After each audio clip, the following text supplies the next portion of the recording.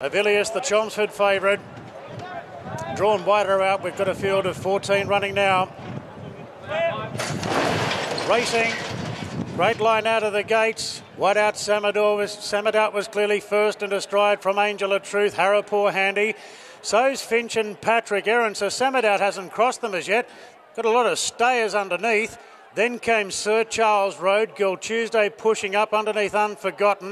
Avilius is out deep from Morris, Natoya getting through on the fence, then Shraaoh from Brimham Rocks. And Young Star is the last one. Samadoubt moves forward now, and now it takes the lead from Angel of Truth. So the two leaders are there eventually. Samadoubt two in front to Angel of Truth.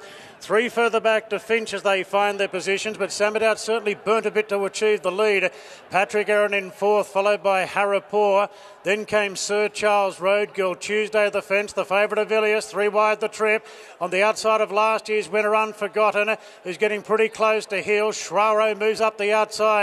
Then came to Toya from Morris, Brimham Rocks. Young Stars last. The Group 1 winner, Samadoubt, rolls inside the 550. Two lengths clear from the Derby winner, Angel of Truth. Three further back to the star, Finch off the bridle. Avilius is taking closer order. McEvoy really putting the favourite into the race coming around the corner. It's Samadoubt two in front of Angel and Truth. Now Avilius goes to third, sustaining this long run. He beats off Finch, Harapur, and then came Unforgotten. But Samadoubt is full running at the 200 metres. He's two, three, four in front. He's going to do it again, Samadoubt. Samadoubt leads all the way in the Chelmsford. Goes on to win it from Avilius. Girl Tuesday and Harapur. Photo for the miners.